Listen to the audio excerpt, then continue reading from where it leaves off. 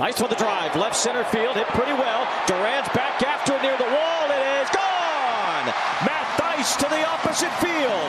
And the Angels have a 2 0 lead. Now that